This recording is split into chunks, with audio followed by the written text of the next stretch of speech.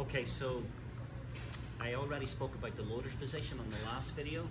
Since we're up doing maintenance uh, for the Armoured Experience next week, figured I'd give you a, view of the, the gunner's uh, position. So here I am, and as you can see, this is you should be able to see that um, it's, it's tight in here. Uh, tank, uh, the, the commander's position, gunner, and the loader. Best way, there's enough room for me to jump inside just to go through this, or I can go through uh, the TC position and, and, squeeze under. But um, let me jump in and show you.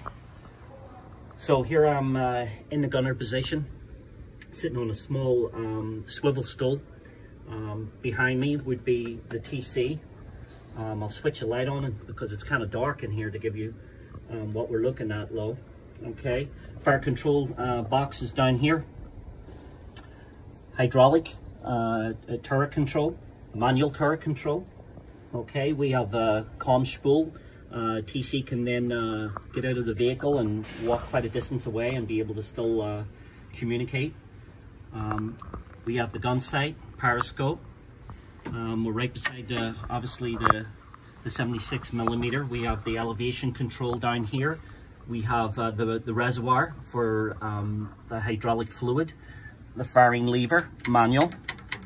But also down at the bottom, we have a foot pedal, which um, will allow us to fire too. Let me squeeze in.